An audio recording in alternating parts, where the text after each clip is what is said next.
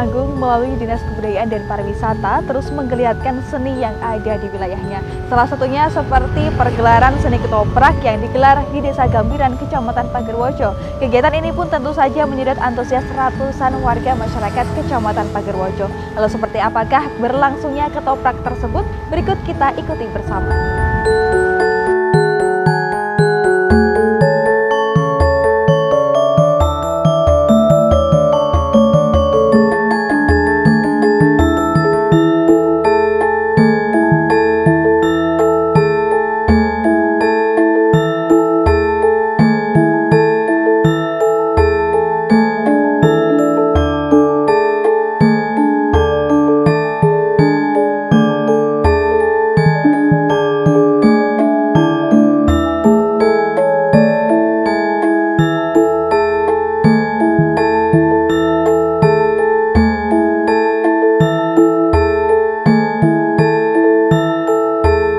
Pemirsa, berbagai kegiatan digelar oleh warga masyarakat untuk memperingati hari ulang tahun ke-74 Republik Indonesia.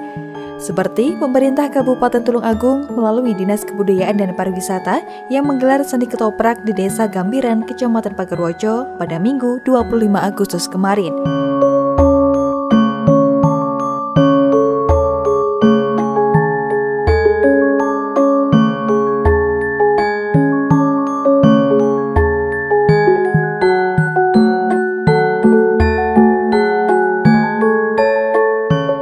Adanya pergelaran seni ketoprak ini tentu saja menyedot antusias ratusan warga Kecamatan Pagerwojo Tulung Agung mengingat seni ketoprak sendiri merupakan hiburan rakyat yang hingga kini terus dilestarikan.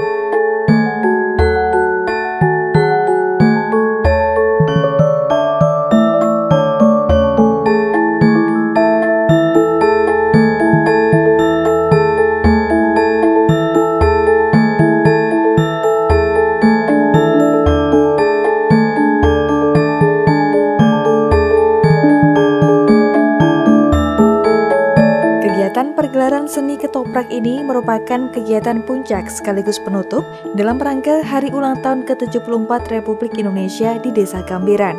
Diharapkan dengan adanya seni ketoprak kali ini, warga masyarakat Desa Gambiran dan sekitarnya akan terhibur dan semakin cinta terhadap NKRI.